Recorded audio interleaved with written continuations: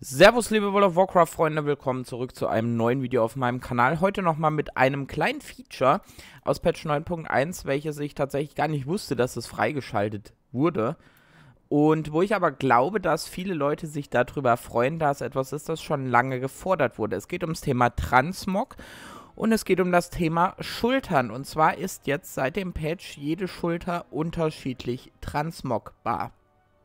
Wie das funktioniert, ihr müsst einfach zu einem Dude gehen, wo ihr transmoggen könnt, beispielsweise auf eurem Mount, und wählt dann den Schulterslot aus. Da habt ihr dann unten links ähm, die Möglichkeit, Schultern einzeln transmogrifizieren. Und dann bekommt ihr, wie hier in dem Fall, die verschiedenen Schulterpolster angezeigt. Das ist die von vorne drauf geguckt linke und das ist die von vorne drauf geguckte rechte. Und denen könnt ihr jetzt unterschiedliche Looks geben. Ähm, können zum Beispiel sagen, weiß ich nicht, könnt ihr auch komplett ausblenden lassen auf der einen Seite, wenn ihr das wollt. Oder ja, wobei, also die Möglichkeiten sind dann quasi unendlich, könnt kombinieren, wie ihr wollt. Könnt ihr zum Beispiel sagen, ich weiß, dass das Ding ähm, hier ein Lookalike ist vom T 12, glaube ich, des Droiden.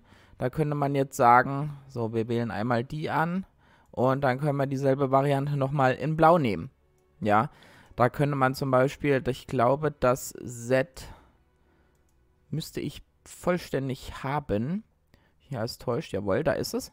So, da könnte man zum Beispiel sagen, man trägt jetzt das Set, möchte aber die Schulter in einem anderen Look haben und macht dann die linke in dem Ursprungslook des Sets und die andere, ups, jetzt habe ich die falsche auch noch ausgewählt, oh boy.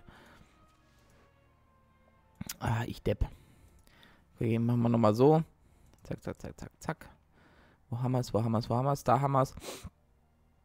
Dann die Schultern einzeln transmogrifizieren und dann die untere ist es. So, und dann so. Und dann hättet ihr theoretisch äh, den Set-Look drin, aber die Schultern in zwei unterschiedlichen Farben. Das finde ich zum Beispiel ganz cool. Geht ja auch bei vielen anderen Sets.